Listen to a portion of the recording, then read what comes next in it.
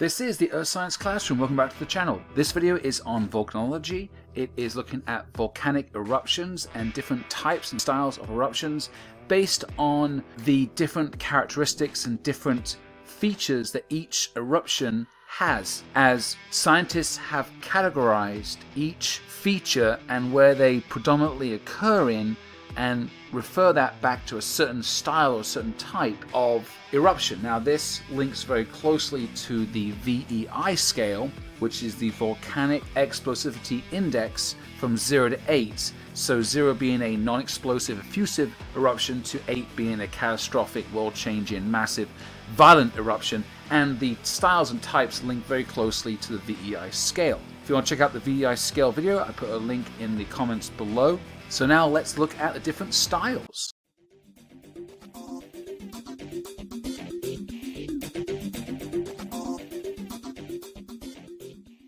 So let's look at the types in a more generic fashion. So eruption, we're looking at an active volcano with magma and lava spewing out, flowing out of a crater or a crack or a fissure.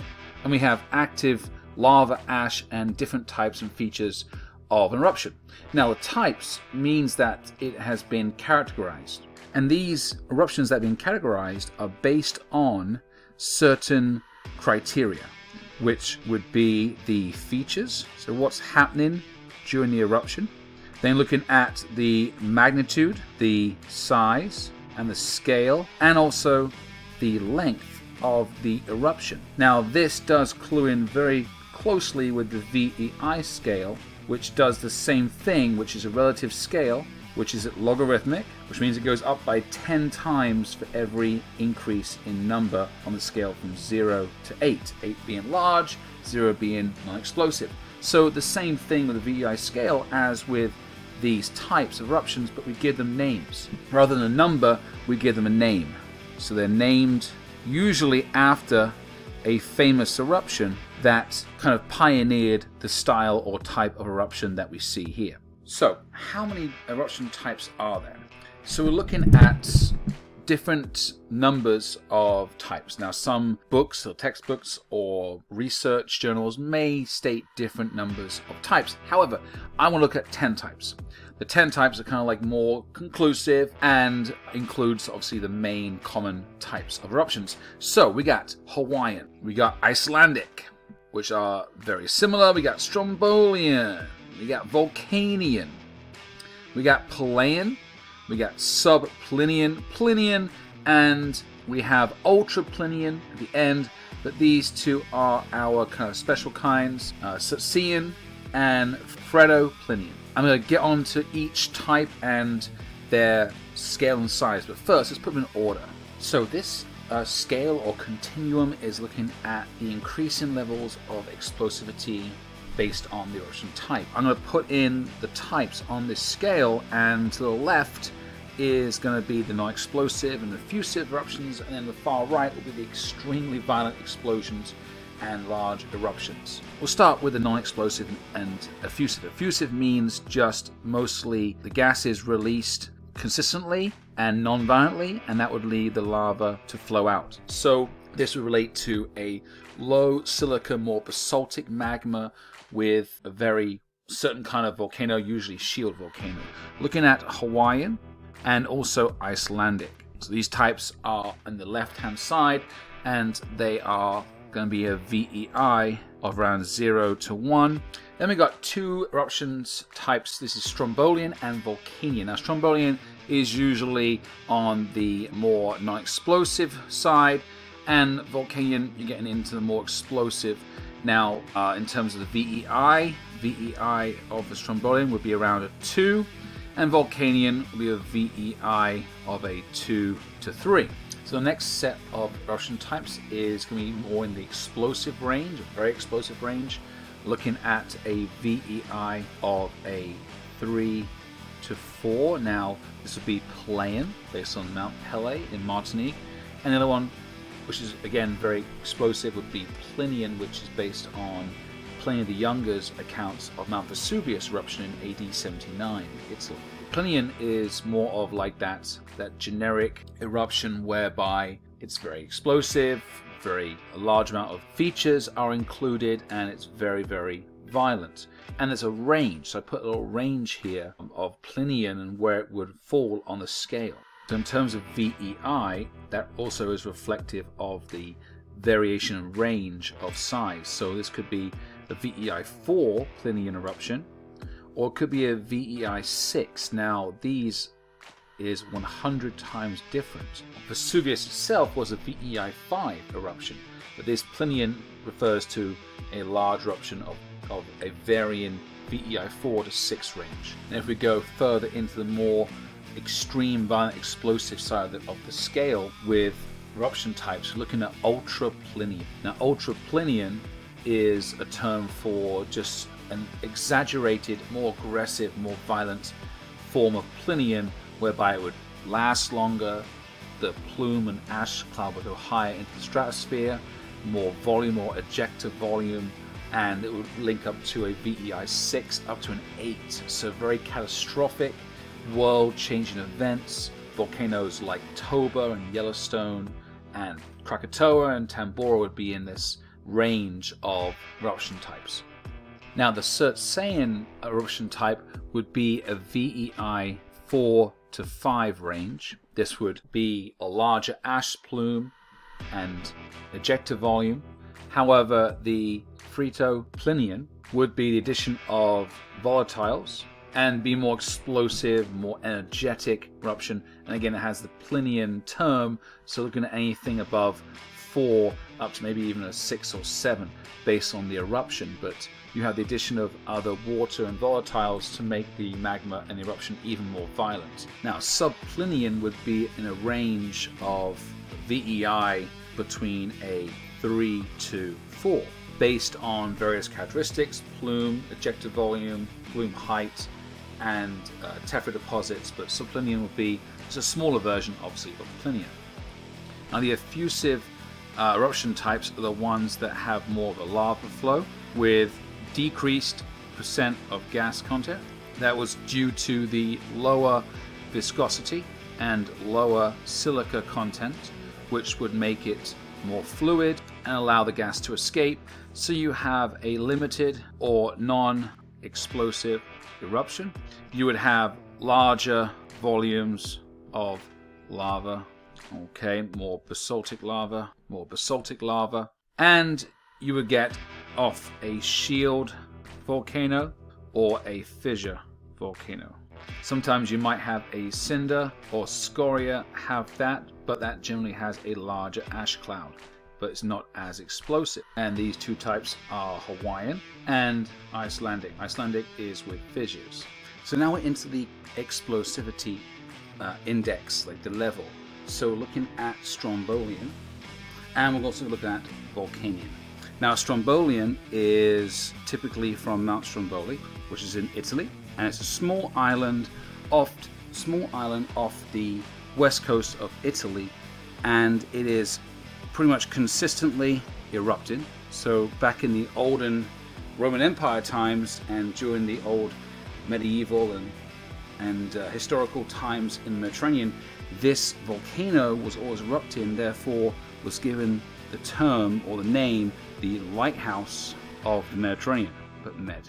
So there we have it. We have consistent erupting. We have bouts of lava and fountains of lava as it's still sort of basaltic and very mafic of magma. We have some ash cloud, okay. We have some larger ejecta, so larger volume of ejecta. And this would be in the VEI 2 to 3 range.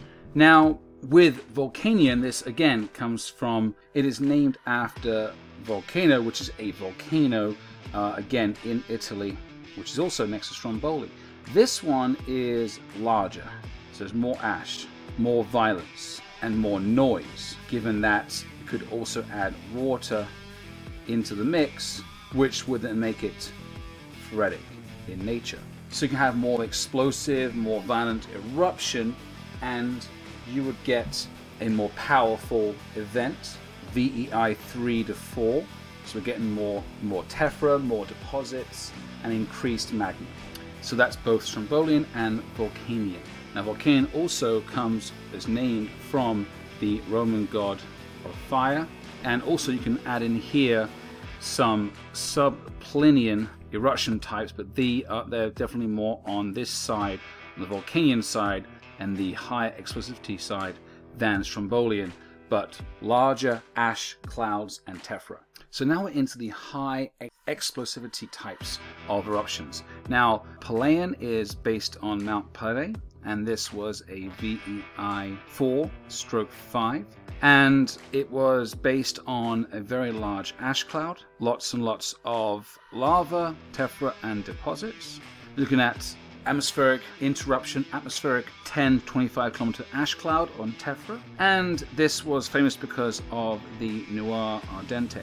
Now, this is basically a glowing cloud which refers to a pyroclastic flow or pyroclastic cloud, which is a ash cloud material which obviously initially goes up with the eruption, but then gravity takes it down and forces it and brings it down the side of the volcano at speeds of over 100 miles an hour at temperatures over 800 to 1000 degrees centigrade. So extremely dangerous feature of this or a volcano, which is classically now called Peleian type. Now we move into Plinian. Plinian is our VEI 5. Now, sub could be in between these two with varying ranges of ash clouds and tephra and material and ejecta, but Plinian is based on Mount Vesuvius in AD 79, and the Romans didn't know what hit them really, and destroyed two cities, which was Herculaneum and Pompeii. And this was classically a very violent, long-lasting eruption. Pyroclastic flows, and put PF. We had lava, we had ash clouds, we had lahars, we have various landslides, possible tsunamis, and obviously earthquakes. This is a very large, intense, and very scary volcano eruption type. Ash clouds over 25 kilometers altitude. It's looking at both tropospheric and stratospheric changes and fluctuations. And this is going to happen two to three times per 100 years. So this is a, even though it's a large eruption, it's kind of common. Mount Pinatubo in 1991, uh, Mount Vesuvius, Mount St. Helens in 1980, so there's been some very famous accounts of a VEI-5 had Plinian eruption type. Now into Phreato-Plinian. Phreato means water, so you add in water, you add in volatiles. Now this is going to make the eruption louder and more explosive. So the magma and the actual eruption is going to be more energetic. The ash cloud is going to be up to including 40 kilometers in altitude. This is a smaller VEI, but this is going to be a, a, a, very large ash cloud, which can initially cause a very large eruption, but overall wouldn't be as big as, say, a classic Plinian. Another type of volcanic eruption that has these pyroclastic flows are, are classically that are linked or associated with this type of volcanic eruption is a, a Surtseyan or a Surtseyan. This is Icelandic. It's a small VEI, but it does have pyroclastic flows and clouds that are linked, that are very common in this type of eruption. Now, best to last, most extreme, most violent, most highest level eruption type on this explosivity scale, which is the Ultra Plinian. Now, this is reserved only for VEI eruptions that are above 6 to 8 and these are historical eruptions. These change climate, these devastate the areas around the volcano within a matter of 50 to 100 miles.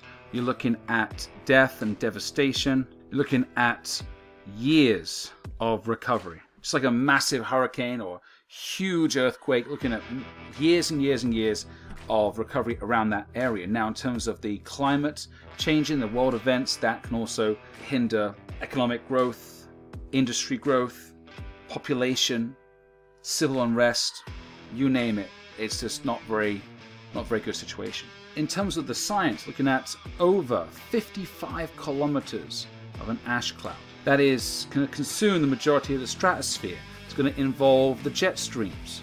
It's going to circle the Earth within a few days perhaps. It's going to change weather. It's going to change climate, as I mentioned. Going to change the ability for the atmosphere to actively maneuver and transfer heat around the Earth. It's going to change sunlight, which is going to change photosynthesis. So the knock-on effects from that are insane. Looking at the ejecta volume of these types of volcanoes being in the tens of cubic kilometers, up to a thousand cubic kilometers of ejecta volume. Huge amounts of tephra and deposits, which are all acidic. So looking at pollution of water and acidification of water. Looking at the blast, the initial blast. Looking at all these features like the HARS. Looking at earthquakes. Looking at landslides. As an example, you've got Toba, supervolcano. You've got Yellowstone, supervolcano. You've got Long Valley in, in the US. You've got Crater Lake, also in the US. So you've got these massive examples of large, usually calderas, that have this ultra Plinian type eruption that involve the VEI 6 to 8 scale, which are usually in the range of one every thousand years, thousand to one every 10,000 years. In reality, that's not too long between a major world changing event. This is the Earth Science Classroom. Thank you for watching. I hope you enjoyed the content. Uh, check out more videos on our channel and don't forget to subscribe. Thank you again.